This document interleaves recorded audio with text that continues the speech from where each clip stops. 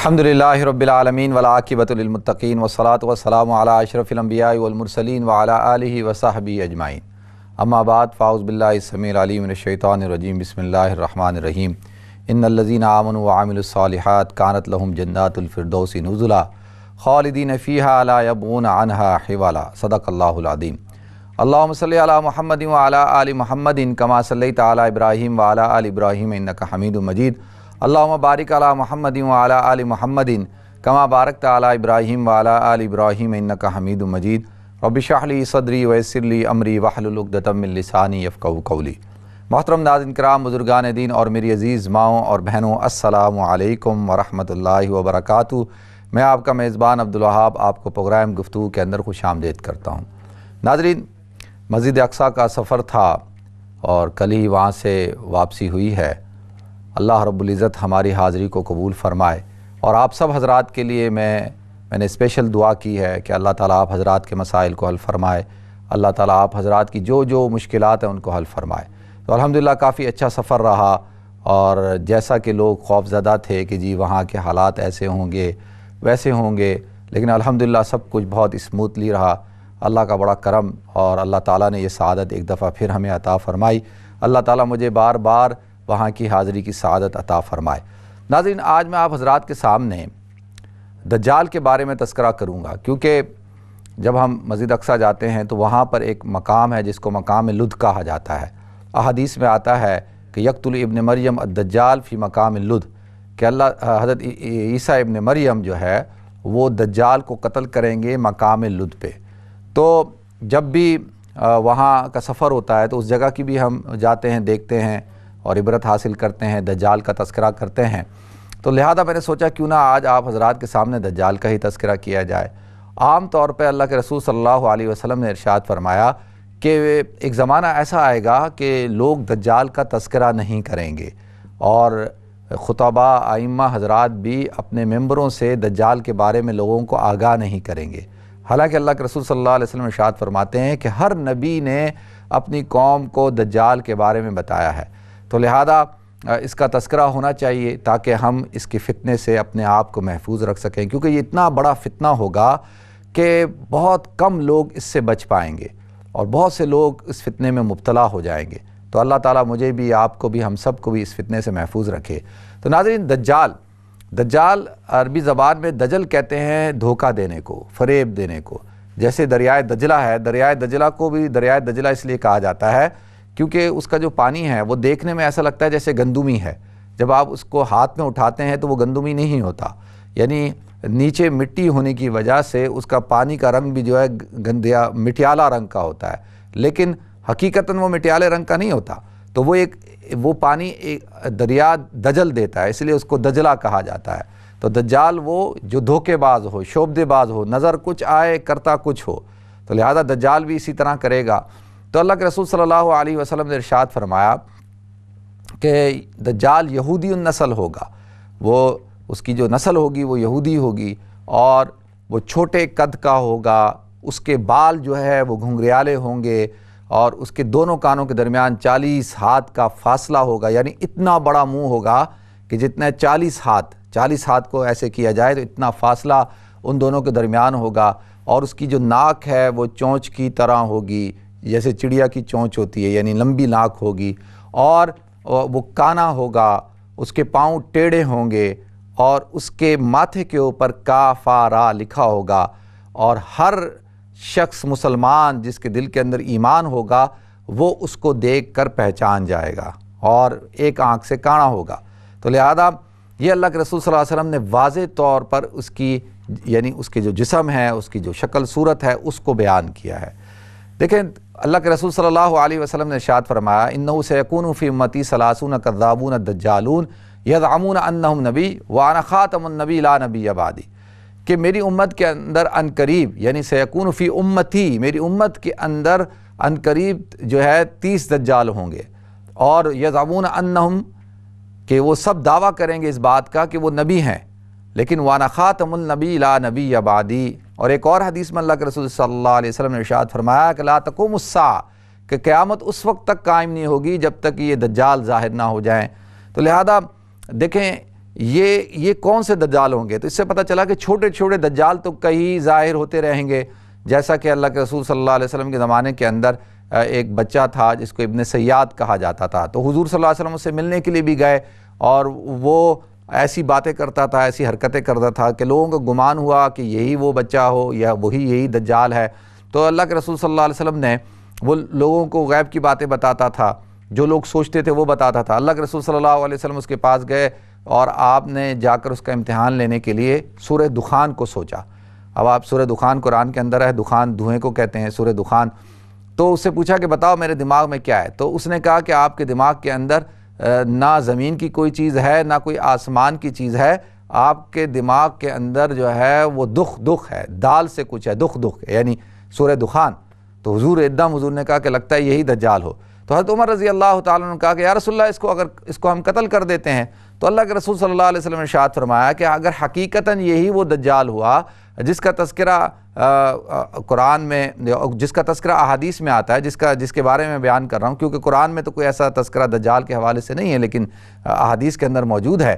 تو آپ نے فرمایا کہ اس کو تو حضرت عیسیٰ ابن مریم قتل کریں گے۔ لہذا تم نے تو اس کو قتل کرنا نہیں، کیونکہ وہ تو حضرت عیسیٰ ابن مریم نے قتل کرنا ہے۔ اگر یہ وہ دجال ہے، تو وہ تو حضرت عیسیٰ ابن مریم قتل کریں گے۔ اگر وہ نہیں ہے، تو پھر یہ دجال نہیں ہے، تو اس کو قتل کرنے کا کوئی فائدہ نہیں۔ لہذا آپ دیکھتے ہیں مسلمہ کذاب یہ بھی بہت بڑا دجال تھا، جس نے نبوت کا دعویٰ کیا، اسود آنسی تھا، اسی طرح سے ایک عورت تھی۔ تو کئی ایسے دجال ابھی تک پیدا ہو چکے ہیں جو نبوت کا دعویٰ کرتے ہیں، سب کے سب جھوٹے ہیں۔ اور سب سے بڑا دجال دجال اکبر جس کو کہا جاتا ہے کہ جو قیامت کی بڑی نشانیوں میں سے ایک نشانی ہے کہ وہ ظاہر ہوگا۔ اچھا اس وقت، جس وقت کے اندر، دنیا کے اندر حفصہ نفسی کا عالم ہوگا اور یہود جو ہے وہ بڑی پریشانی کے اندر ہوں گے۔ اور ان کی حالات بہت خراب ہوں گے اور وہ مسیحا کی تلاش کے اندر ہوں گے کہ کوئی مسیحا آئے۔ اور جیسے ہی دجال کا ظہور ہوگا تو یہ دجال جو ہے، یہ چالیس دن تک زمین کے اوپر رہے گا۔ ناظرین، حدیث دجال کے اندر اس کا تذکرہ موجود ہے، چالیس دن تک۔ اور اس کا ایک، جو پہلا دن ہوگا وہ ایک سال کے برابر ہوگا۔ اس کا جو دوسرا دن ہوگا وہ ایک مہینے کے برابر ہوگا۔ اس کا جو تیسرا دن ہوگا، وہ ایک ہفتے کے برابر ہوگا اور بقیہ دن جو ہے، اس کے نارمل ہوں گے۔ اور یہ بڑی تیزی کے ساتھ سفر کرے گا۔ یعنی اتنی تیزی کے ساتھ سفر کرے گا کہ آپ اندازہ کریں کہ جو اس کی سواری ہوگی، وہ کئی کئی میل کا سفر سیکنڈوں کے اندر طے کرے گی۔ جیسے آج کل کے دور میں آپ دیکھ لیں، راکٹ ہوتا ہے یا بڑے بڑے جہاز ہوتے ہیں، تو یہ پوری دنیا کا چکر لگائے گا۔ سوائے مکت المکرمہ کے اور مسجد نبی کے اور مسجد اقصہ بیت المقدس کے یہ ان تین جگہوں کے علاوہ ان تین جگہوں میں داخل نہیں ہو سکے گا، ان تین جگہوں کے علاوہ پوری دنیا کے اندر داخل ہو جائے گا اور اس کو اللہ تعالیٰ نے بڑی طاقت دی ہوگی اور پوری دنیا کے جو ہے وہ خزانے اس کے پاس ہوں گے، آسمان و زمین مسخر ہوں گے، یہ بارش برسائے گا، جو اس کی اتباع کریں گے ان کے لیے یہ گندم کے اور اناج کے ذخیرے کھول دے گا اور سونے چاندی کے اس کے پاس انبار ہوں گے اور جو اس کے ماننے والے ہوں گے، ان کو یہ بھر دے گا۔ شروع کے اندر تو بڑا مسلح بن کر، بڑا خیر کی باتیں کرنے والا ہوگا، بڑی اچھی باتیں کرتا ہوگا۔ پھر آہستہ آہستہ پہلے نبوت کا دعویٰ کرے گا، پھر خدائی دعویٰ کر بیٹھے گا۔ اور لہذا لوگوں کو مادرزاد اندھوں کو زندہ کرے گا، لوگوں کو جو ہے وہ مارے گا۔ پھر اللہ یعنی اللہ اس کو ایسی طاقت دیں گے کہ یہ ان کو زندہ کرے گا۔ یہاں تک کہ جو لوگوں کے رشتہ دار والد، والدہ مر چکے ہوں گے، ان کو زندہ کرے گا۔ یعنی اور کہے گا کہ دیکھو، جو ہے کہ وہ آ کے کہیں گے کہ ہم تمہارے والد، والدہ نہیں ہیں، تو تم اس کی اتباع کرو۔ یعنی اتنا بڑا فتنہ ہوگا کہ اللہ تعالیٰ اس سے حفاظت فرمائے اور اس کے اندر اس کی جو اتباع کرنے والے جو افراد ہوں گے، ان میں عورتوں کی تعداد زیادہ ہوگی۔ جو مرد حضرات ہیں، وہ گھروں کے اندر اپنی ماؤں، بہنوں، بیٹیوں کو رسیوں سے باندھیں گے کہ کہیں وہ اس کے پیچھے نہ چل پڑیں۔ اور آپ دیکھیں گے کہ یہ وہ گھروں کی رسیاں، گھروں سے رسیاں توڑ کر جو ہے، کھول کر، بھاگ کر جو ہے، اس کے پیچھے لگیں گی تو یہ اتنا بڑا فتنہ ہوگا۔ آتا ہے کہ ایک شخص کو یہ، ایک شخص اس کے بارے میں باتیں کر رہا ہوگا، اس کو کہہ رہا ہوگا کہ نہیں، یہ دجال ہے اور یہ تو وہی ہے جس کا تذکرہ حدیث کے اندر موجود ہے۔ تو لوگ اس کو پکڑ لیں گے اور پکڑنے کے بعد اس کو مارنا چاہیں گے۔ تو ایک ان میں سے شخص بولے گا، نہیں، یہ تو اس کو اپنے خدا کے پاس لے کر چلتے ہیں، وہی اس کے بارے میں فیصلہ کرے گا۔ تو اب یہ دجال کے پاس لے کر آئیں گے تو دجال جو ہے اس شخص کو کہے گا تم میری تباہ کرو، وہ کہتے ہیں، نہیں، میں نہیں تباہ کروں گا۔ وہ کہتا ہے اچھا میں تمہیں مار دوں گا۔ تو کہتے ہیں، مار دو۔ تو اس کے، ان کے دو ٹکڑے کر دیں گے، کر دے گا۔ تو پھر اس کے بعد ان کو دوبارہ وہ زندہ کرے گا، زندہ کر کے کہے گا، بتاؤ، اب میں خدا ہوں یا نہیں؟ تو وہ کہیں گے، اب تو مجھے اس بات کا یقین ہو گیا کہ تم ہی دجال ہو، کیونکہ یہ ساری شعبے بازیاں جو ہے وہ تمہیں ہی دی گئی ہیں، تم ہی دجال ہو۔ تو پھر اب دجال دوبارہ سے جب ان کو قتل کرنا چاہے گا تو وہ قتل نہیں کر سکے گا۔ تو لہذا، اب دیکھیں، لوگ جو ہے، اب اب مسلمان جو ہے، وہ ان کے اوپر بڑا برا حال آ چکا ہوگا۔ مسلمان بڑی پریشانی کے اندر ہوں گے اور بڑے قسم پرسی کی زندگی گزار رہے ہوں گے اور یہود جو ہے، بڑے خوشحال ہو جائیں گے، بڑے طاقتور ہو جائیں گے۔ اور اب یہ چاہے گا مدینہ منورہ کے اندر داخل ہونا۔ لیکن جیسے ہی مدینہ منورہ کے اندر داخل ہونے کی کوشش کرے گا، ناظرین، جب ہم جاتے ہیں مدینہ منورہ، تو مدینہ منورہ سے باہر ایک پہاڑ ہے۔ اس پہاڑ کے اوپر کھڑا ہو کر یہ تمنا کرے گا کہ مجھے مسجد نبی کے اندر داخل ہونا ہے۔ لیکن کہے گا کہ یہ جو جو سفید پیلس ہے، اس کے اندر جو شخصیت ہے، یہ مجھے اندر آنے سے روک رہی ہے۔ مدینہ منورہ کے ساتھ دروازے ہوں گے، ان پر فرشتوں کا پہرا ہوگا اور فرشتے اس کو اندر داخل نہیں ہونے دیں گے۔ تو یہ مایوس ہو کے وہاں سے مکہ مکرمہ آئے گا۔ مکہ مکرمہ میں بھی داخل نہیں ہو سکے گا۔ وہاں سے مایوس ہو کے یہ دمش کی طرف آئے گا۔ اور اتنے میں جب یہ مدینہ منورہ کے باہر ہوگا، تو ناظرین، مدینہ منورہ کے اندر تین زلزلے آئیں گے۔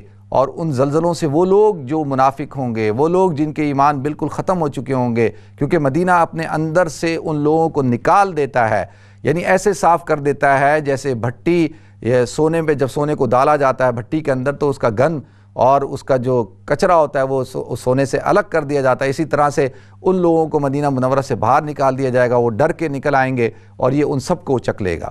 تو اس کے بعد یہ دمشق پہنچے گا۔ اب اتنے میں مسلمان بڑے پریشان حال ہوں گے۔ اور مدینہ منورہ کے اندر سارے حضرت مہدی کے منتظر ہوں گے، کوئی ایسا رہنما، امیر ملے۔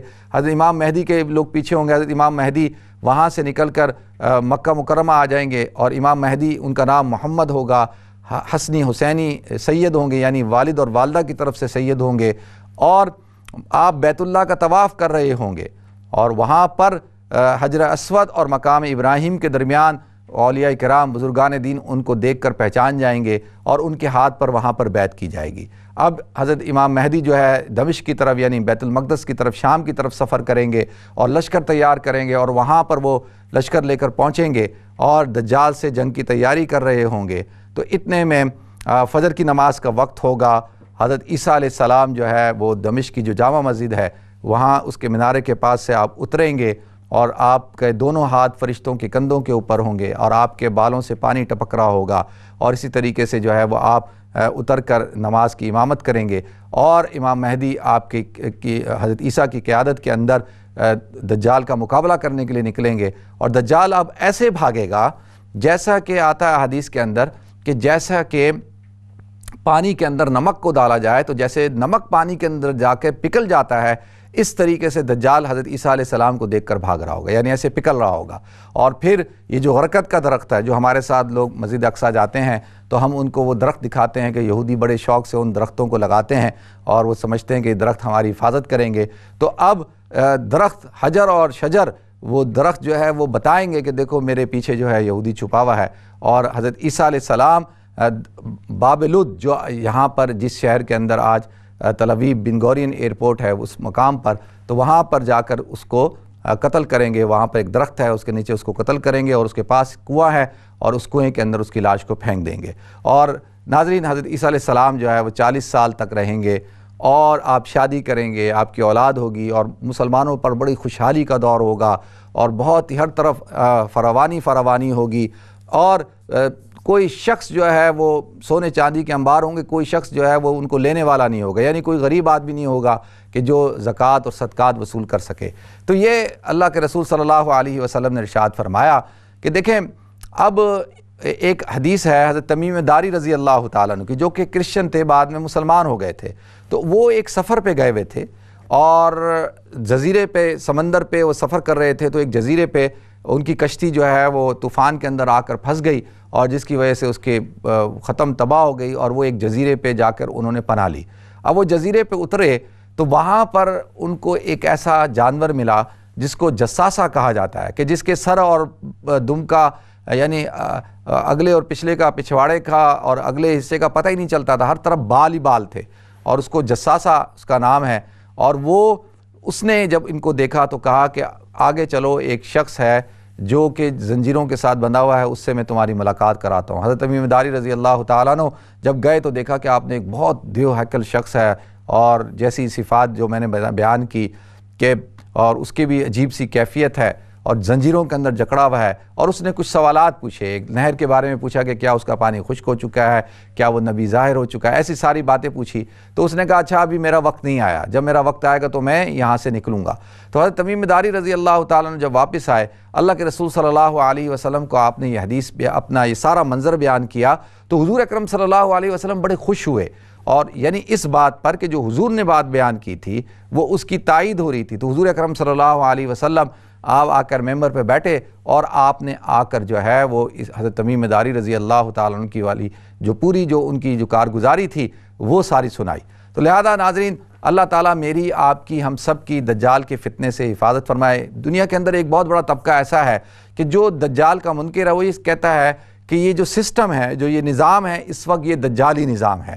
اور یہ جو پورا آج دیکھ رہے ہیں دنیا کے اندر جو دجالی قوتیں ہیں، انہوں نے کنٹرول کیا ہوا ہے۔ دجال کسی شخصیت کا نام نہیں، بلکہ ایک نظام کا نام ہے۔ اور یہ اس وقت جو ہے، ان کا، ان کے کنٹرول پہ ہے۔ پورا میڈیا پوری دنیا کی اکانومی اسی طریقے سے ان کے پاس بڑی بڑی بڑے بڑے طاقتور ادارے ہیں اور بڑی، اور دولت کے انبار ہیں ان کے پاس۔ اور جو ان کے ساتھ شامل ہو جاتا ہے وہ اس کو مالا مال کر دیتے ہیں اور مطلب وہ ان کے نزدیک یہ نظام کا نام ہے، جو نظام اس وقت چل رہا ہے، جو انسان کو جس نے دھوکے میں ڈال دیا ہے۔ اگر حقیقتاً یعنی اس بات سے تو ہٹ کر، کیونکہ احادیث میں جو بات آتی ہے، ہم اس کے، اس کا انکار تو ہم نہیں کر سکتے۔ لیکن اگر دیکھا جائے تو آج دنیا جتنی زیادہ سجی ہوئی ہے ومل حیات دنیا اللہ متاع الغرور۔ کہ اللہ کے رسول صلی اللہ علیہ وسلم نے شاعت فرمایا کہ دنیا جو ہے، وہ سوائے دھوکے کے اور فریب کے کیا چیز ہے؟ آج آپ دیکھیں کہ دنیا آج سے سو سال پہلے کی دنیا اور آج کی دنیا میں کتنا بڑا بنیادی فرق ہے؟ آج سے سو سال پہلے یہ ساری فیسلٹیز نہیں تھی، یہ ساری سہولیات نہیں تھیں اور انسان ایک بہت سادہ سی، ایک سمپل سی زندگی گزارتا تھا۔ سو، ڈیڑھ سو سال پہلے کی زندگی آپ دیکھیں، اگر اور آج کی زندگی کا موازنہ کریں، آج انسان جو ہے اس کے پاس سواریوں کو دیکھیں تو اس کے پاس کیسی کیسی سواریاں ہیں، موٹر سائیکلیں ہیں، گاڑیاں ہیں، پھر اس کے بعد ریل گاڑی ہے، ٹرینیں ہیں پھر اس کے پاس بسیں ہیں بڑی بڑی، پھر اس کے پاس بڑے بڑے جہاز ہیں اور پھر پانی کے جہاز ہیں۔ مطلب آپ دیکھیں، آج دنیا جو ٹریول کرتی ہے، تو ٹریولنگ کے لیے کتنی ساری چیزیں موجود ہیں، کتنے سارے اسباب اور ذرائع اور وسائل موجود ہیں۔ آپ چند گھنٹوں میں ایک ملک سے دوسرے ملک میں پہنچ جاتے ہیں، لیکن اس زمانے میں جو ہے سوائے سواری کی کیا چیزیں ہوتی تھی کہ بھئی گھوڑا، اونٹ گھدا خچر اور زیادہ زیادہ پانی کی کشتی ہوتی تھی اور جو ہے اس سے زیادہ کوئی اور وسائل اور اسباب نہیں تھے۔ لیکن آج آپ صرف سواری کا دیکھ لیں، اس کے بعد آپ دیکھ لیں بڑے بڑے موٹر ویز ہیں، ہائی ویز ہیں، اور جو ہے وہ ٹنلز بنی ہوئی ہیں، اور کیا کچھ فلائی اوورز بنے ہوئے ہیں۔ آپ اندازہ نہیں کر سکتے کہ کتنا دنیا کو جو ہے وہ مواصلاتی نظام نے جو ہے اپنے آپ کو ایسے مربوط کر لیا ہے۔ اسی طریقے سے آپ بلڈنگیں دیکھیں۔ پہلے لوگ جو ہے وہ کچے گھروں میں رہتے تھے، خیموں میں رہتے تھے۔ زیادہ سے زیادہ ایک کمرہ نیچے ہوتا تھا یا ایک اوپر ہوتا تھا اور خیمے ہوتے تھے۔ جس کے پاس پکا گھر ہوتا تھا، وہ بڑا مالدار سمجھا جاتا تھا۔ آج جو ہے ہنڈریڈ ہنڈریڈ منزلوں کی جو ہے وہ عمارتیں موجود ہیں۔ بڑی بڑی ہائی رائز بلڈنگیں موجود ہیں اور ان کے اوپر جانے کے لیے ایلیویٹرز ہیں، لفٹس ہیں۔ آپ دیکھیں دنیا کو کتنا خوشنما بنا دیا گیا ہے۔ آج دنیا کے اندر آپ بڑے بڑے ہوٹلز میں چلے جائیں، آپ جو ہے ہر چیز کتنا دھوکے کی دنیا ہے کہ انسان اس کے اندر اتنا منہمک ہو گیا ہے۔ اب شاپنگ آپ لے لیں۔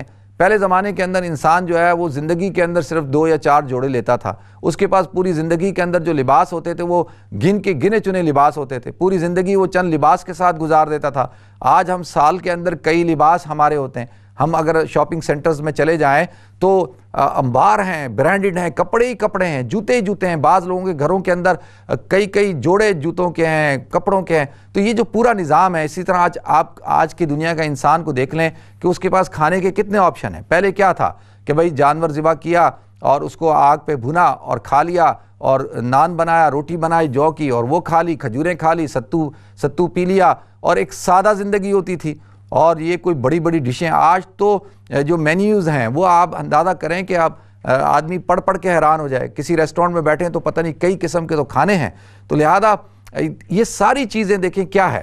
پھر اتنے بڑے بڑے ہاسپٹلز پہلے تو بیماریاں کم ہوتی تھیں، آج بیماریاں بھی اتنی ہیں۔ تو آج کی دنیا کو تو بہت سجا دیا گیا ہے۔ اور اسی لیے آج کا انسان جو ہے وہ دنیا کے اندر منہمک ہو کے رہ گیا ہے اور دنیا کے اندر جو دنیاوی اسائشوں کے اندر، دنیاوی نعمتوں کے اندر جو ہے وہ اس نے اپنے آپ کو بالکل پھنسا لیا ہے۔ تو کیوں کہ انسان ظاہر پرست ہے، دنیا اس کو نظر آتی ہے۔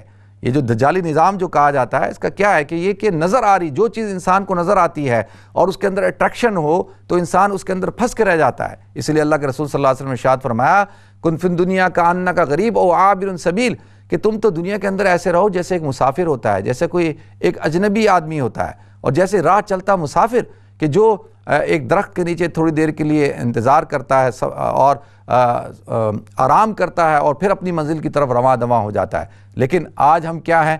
ہم ہم نے اس دنیا ہی کو، یہ جو نظام ہے، دجالی نظام، اس نے ہمیں بالکل جکڑ کے رکھ لیا ہے۔ تو لہذا کس طرح سے اس سے حفاظت ہوگی؟ اللہ کے رسول صلی اللہ علیہ وسلم نے اشارت فرمایا کہ جو شخص جو ہے جمعے کے دن سورہ کہف پڑھے گا تو اللہ تعالیٰ دوسرے جمعے تک اس کو ایک نور دیں گے۔ وہ اس نور کے اندر چلے گا، اس نور کے اندر رہے گا، وہ نور جو ہے اس کو دجال کے فتنے سے محفوظ رکھے گا۔ جو شخص جو ہے سورہ کہف کی ابتدائی پانچ آیتیں، ایک حدیث میں آتا ہے اور ایک میں آتا ہے، آخری پانچ آیتیں پڑھے گا۔